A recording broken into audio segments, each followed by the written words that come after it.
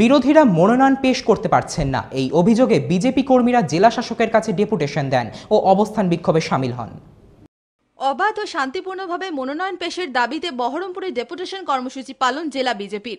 সারা জেলা জুড়ে আক্রান্ত হচ্ছে বিজেপি প্রার্থীরা। মনোনয়ন জমা দিতেই পারছে না বলে অভিযোগ। তারই প্রতিবাদে জেলা শাসকের কাছে ডেপুটেশন দিতে জমায়েত হন বিজেপি নেতা কর্মীরা। বহরমপুরে জেলা প্রশাসনিক ভবনের সামনে অবস্থান বিক্ষোভের পর অতিরিক্ত জেলা শাসক জেলা পরিষদের কাছে ডেপুটেশন দেয় বিজেপি কর্মী সমর্থকরা। কর্মীদের উপর আক্রমণ হচ্ছে তুমি জবাব দাও। এপ্রিলের দু তারিখ থেকে আজকে সারা বাংলায় পঞ্চায়েত নির্বাচনে যে নমিনেশন পেপার জমা দেওয়ার কথা ছিল, শুরু হয়েছে। কিন্তু আজকে সারা বাংলা জুড়ে দেখছি একটি মাত্র রাজনৈতিক দল, টিএমসি শুধু নমিনেশন জমা দেবে, বাকি কোনো রাজনৈতিক দল জমা দেবে না। এটা অঘোষিত একটা ফরমান প্রশাসনের পক্ষ থেকে মুর্শিদাবাদ জেলায় চলছে। সারা রাজ্যেও চলছে। এই জেলার প্রত্যেকটা ব্লকে আমরা দেখতে পাচ্ছি বিজেপি নমিনেশন জমা দিতে গেলে তারা আক্রমণ, আক্রমণের শিকার হচ্ছে। মাথা ফাটিয়ে দেওয়া হচ্ছে, গুলি চালানো হচ্ছে, বোম মারা হচ্ছে।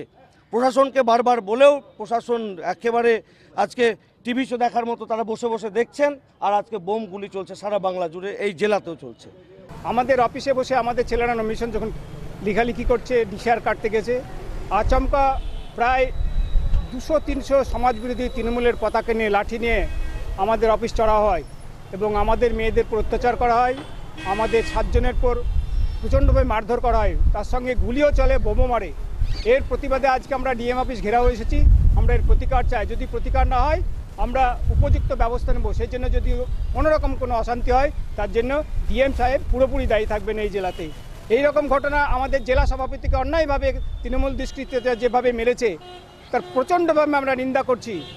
তাছাড়া আমাদের কর্মীদের উপর দমকল, চলঙ্গি হরিয়ারপাড়া কান্দি, বড়োয়া, ভরতপুর এই যে অত্যাচার শুরু হয়েছে, এই অত্যাচারের মোকাবেলা আমরা একদিন করবই। আজকে যেভাবে সমাজ বিরোধীদের নামিয়ে, যেভাবে মুর্শিদাবাদে গুন্ডারা শুরু করছে তৃণমূল, এর তীব্র নিন্দা করছি, প্রতিবাদ করছি।